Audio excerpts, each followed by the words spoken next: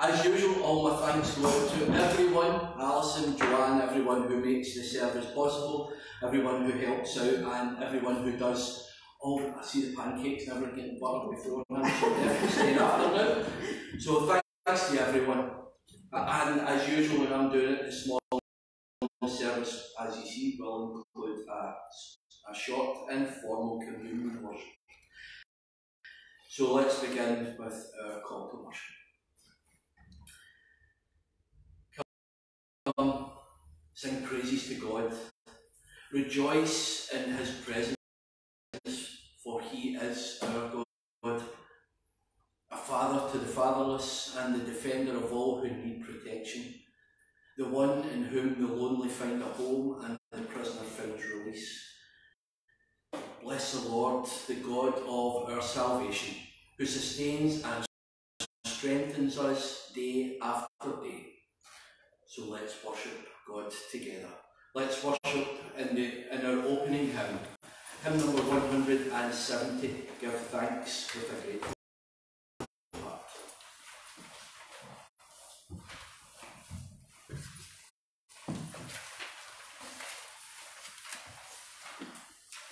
Mm.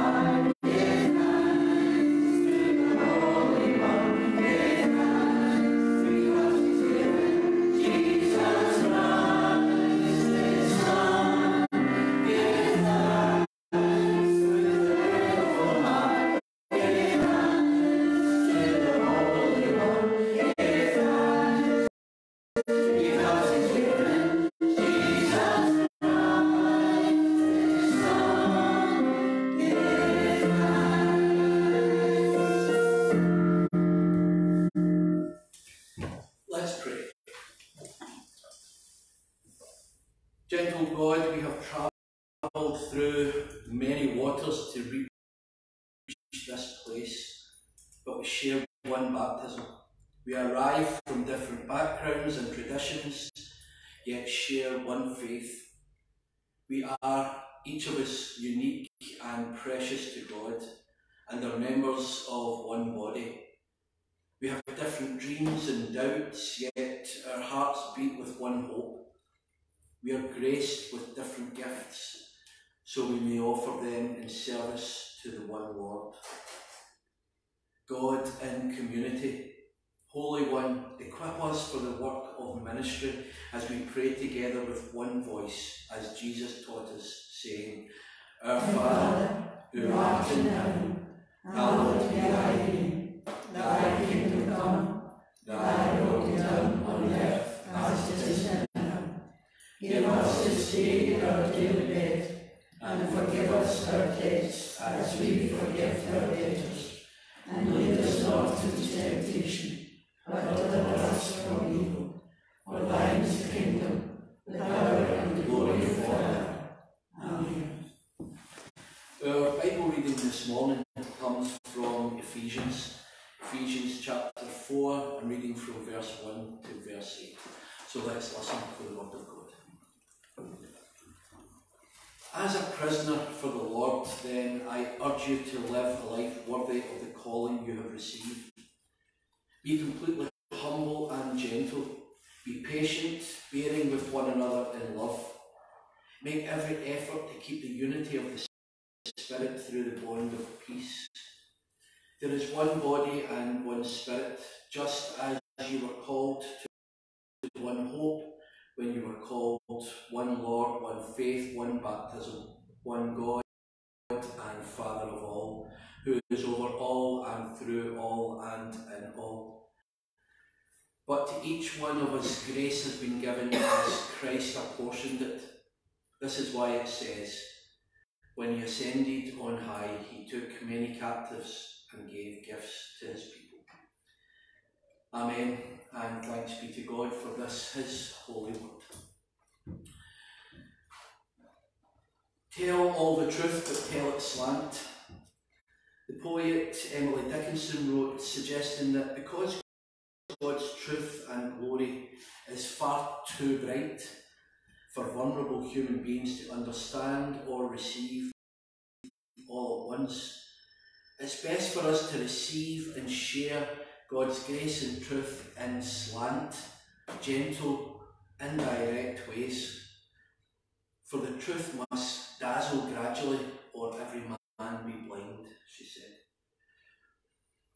The Apostle Paul made a similar argument in Ephesians 4 this month that we read this morning, when he urged believers to be completely humble and gentle, and to be patient, bearing with one another in love.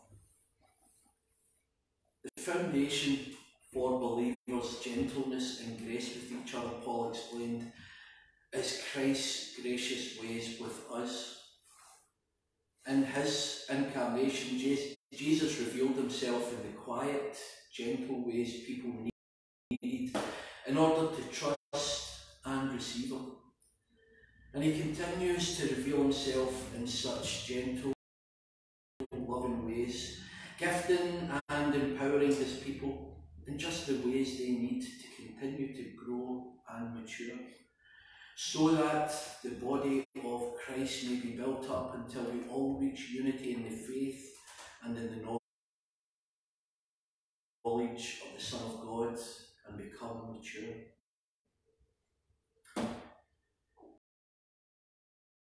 As we grow, we become less vulnerable, to looking elsewhere for hope and more confident in following Jesus' example of gentle love. But we can always strive for more, to be more Jesus centred. And in these times of turmoil for the church, both locally and nationally, when it can become very easy for us to look to our neighbours and be less than humble, less than gentle. These, words of Paul take on a renewed importance. If we believe the words of Paul and we are indeed called to be completely humble and gentle, are we truly being worthy of our calling? Because God has formed us as people. We are all Christ Church. We live in a society that has grown so used to being isolated, alone, and fractured. How sweet it is to be united together, church with church, with church, bound in the peace of Christ. Because this broken and fractured world needs this gospel. So my prayer for us all this morning is that the Lord strengthen us as His church, as we open our arms to this lonely world, to our neighbours, with the unity and peace available only by the gospel of Jesus. Amen. I must admit some of that that was rewritten after last night's meeting. Um, some of us were at presbytery last night and I don't think many of us were proud of the way that a lot of the church have been behaving recently. Um, luckily, we didn't see a lot of what people call misbehaviour in the meetings that we were at, but there seems to have been a lot of misbehaviour, a lot of name calling, and a lot of accusations made of people who, after all, are our brothers and sisters in Christ. And it made me think about it a wee bit. So, after, well, maybe not after I come home, I must admit I went straight to my bed, I was tired. But this morning I had a wee think about it, and um, the churches surrounding us are the churches that we must work with over the next few years. Um, where and how, we don't know yet. But they are brothers and sisters in Christ. And we, ha- we have to accept that to some degree. Um, hopefully, over the next few years, um, the pain will lessen and will allow Christ to enter the discussions um, that, that a lot of us have left Christ out of in the past few months. So, as I said, we, we, we must be open um, and we must open our arms to our neighbours and a world that is very lonely with the peace and unity available only within the gospel of Jesus. The table of bread and wine is ready. So come to this table. You who have much faith and you who would like to have more faith. You have been here often and you have not been for a while. You who have tried to follow Jesus and you who have failed. Come. It is Christ who invites us to meet him here. Let's pray. Loving God, through your goodness, we have this bread and wine to offer, which earth has given and human hands have made. May we know your presence in the sharing of this bread, so that we may know your touch in all bread, all matter. We celebrate the life that Jesus has shared among his community through the centuries and shares with us now, made one in Christ and one with each other. We offer these gifts and with them ourselves a single, holy, living sacrifice. Amen. The Lord be with you. Lift up your hearts and let us give thanks to the Lord our God. We offer you praise, Lord, and hearts lifted high, for in the communion of your love, of your love, Christ, come close to us, and we come close to Christ. Therefore, with the whole realm of nature around us, with earth, sea, and sky, we sing to you. With the angels of light who envelop us, with all the saints before and behind us, with brothers and sisters east and west, we sing to you. And with our loved ones, separate from us now, who yet in this mystery are close to us, we join in the song of your unending greatness.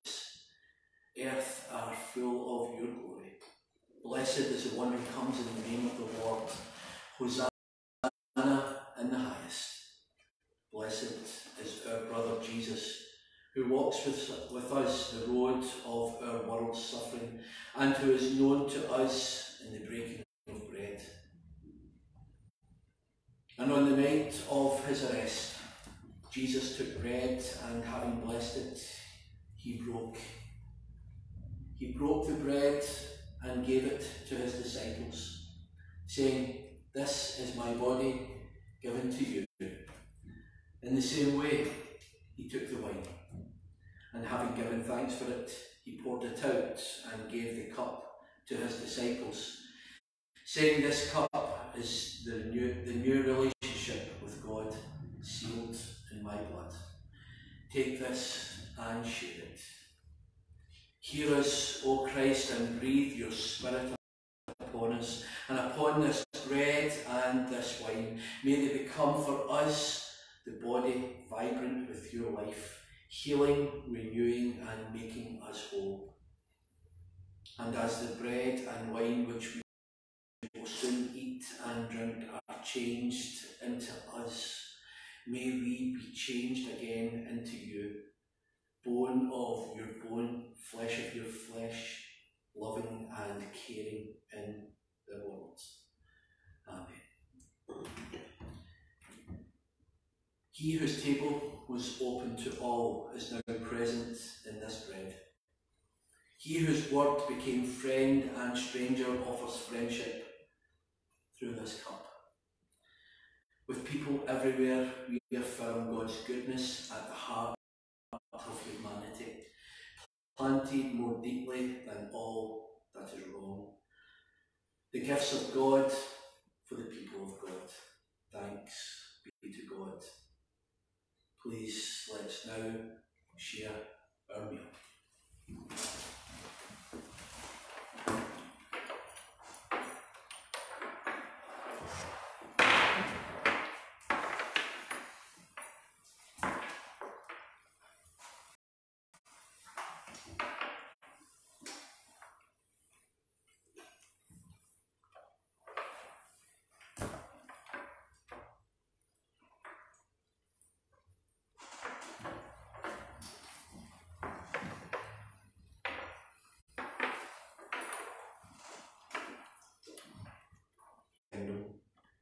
May we taste this mystery forever serve you in faith, in faith, in hope.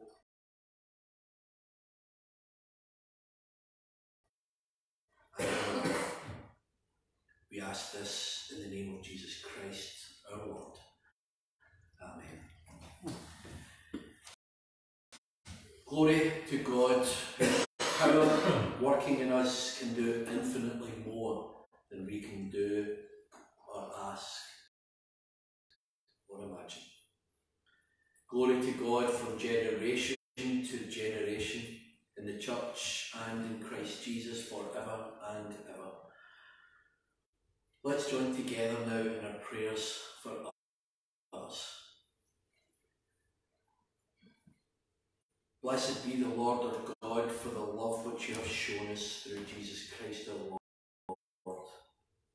In him who loved us as we are conquerors over hardship, distress, persecution, famine, nakedness, peril, and the sword. In the silence of abandonment and solitude, of sickness and death, pour out the riches of your blessing, that we may be ever more faithful to serve you and our sisters and brothers, and that our joy to do your will be ever greater. We bless you and glorify you, for you listen to the silence of our hearts. You act within us with power, healing us and leading us to speak in the name of Jesus, your Son. Send us into the world to carry out your will and to break down the walls of silence which separate us. May we be witness to you, our only Saviour, being ever more united by one faith and one baptism. And may we grow in grace and we're going to sing the hymn number 375, Jesus' name above all names. We're not sure what version we have and whether we're going to sing it once or twice. So it's going to be If a you've ever dealt with a hanging belly, love handles or flabby arms, then this discovery could save your life.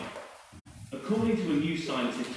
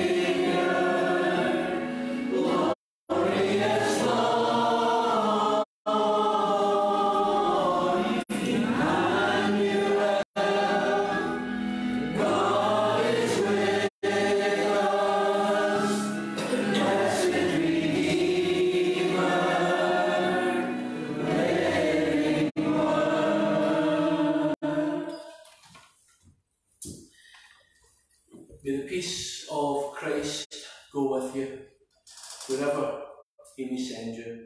May he guide you through the wilderness, protect you through the storm.